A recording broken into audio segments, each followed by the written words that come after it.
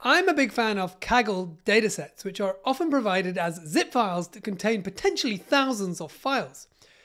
Now, with many data tools, you need to unpack the zip file before doing any analysis. But since version 23.8, ClickHouse lets us query archive files directly.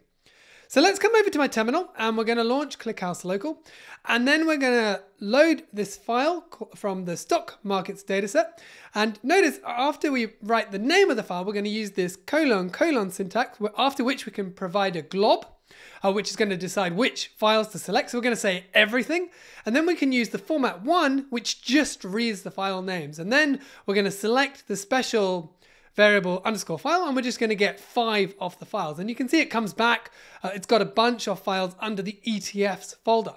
So we can see from these results that there are some CSV files inside the archive, but let's now update the query to give us an overview of everything in the zip file. So we're going to take the initial query, we're going to wrap it in a CTE, and then we're going to add an extra field to the select, which is going to split the file by the forward slash uh, so that we get the parts.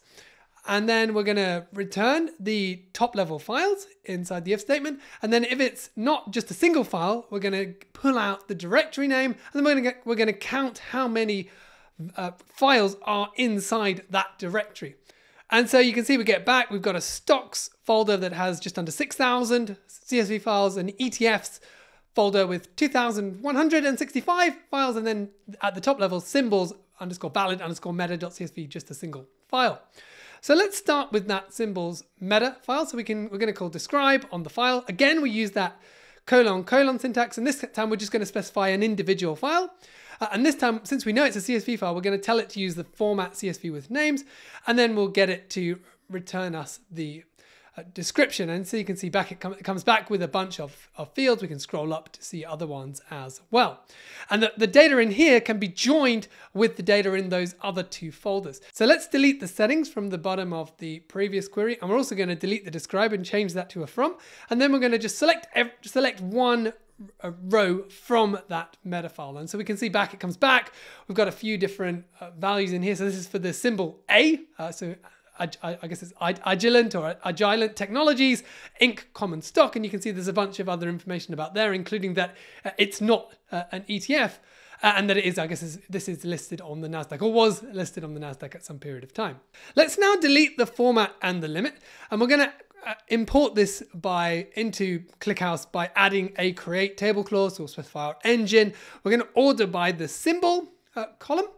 And then if we come down, we're going to add in an extra setting. So this is schema inference make columns nullable. We're going to turn that off. And what it means is that when uh, ClickHouse is choosing a sample of rows and columns to look at, it's only going to make the field types nullable if the sample values for a column contain nulls. Otherwise, it's just going to use the uh, infer underlying inferred type.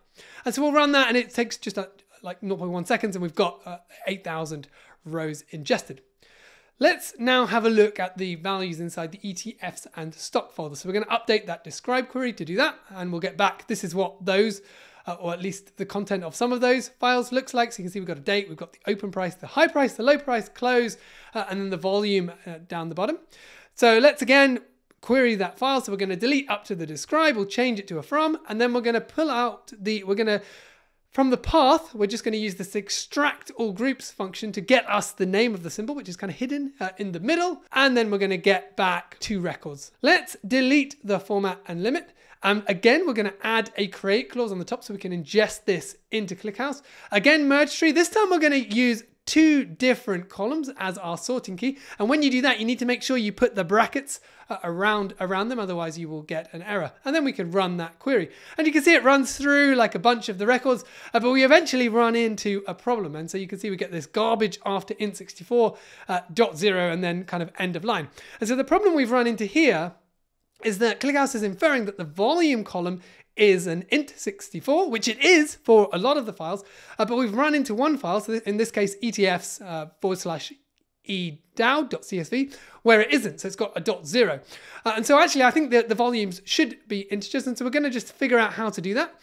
So we're going to drop the table prices and then we're going to go back to our original query and we're going to use this setting called input format, try infer integers, and we're going to tell it don't do that. So don't try and infer that it's an integer. So it's just going to keep that as a string value. And then we're going to use the replace function after our uh, select star to manually do like the coercion of the type. So we're going to use the toInt64 function on the volume uh, to force it to be an integer. Okay, so we're going to run that and it's going to be processing the records at about 1 million records a second, which is still not quite fast enough for a video. So we'll speed that up and you can see it processes uh, just over 28 million records in 22 seconds.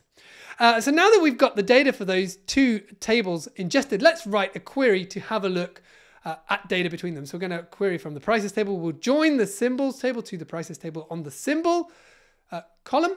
And we're then going to find for, for a month, so we're going to get the start of month, we'll, we'll see whether or not it's an ETF, and then we're going to compute the total volume of trading that was done, and we'll get a readable format as well. And we're going to do it just for three months, so January 2020 up until March 2020. And then we'll get back our result. And so you can see here the volume of uh, transactions uh, that were being done or trades that were being done.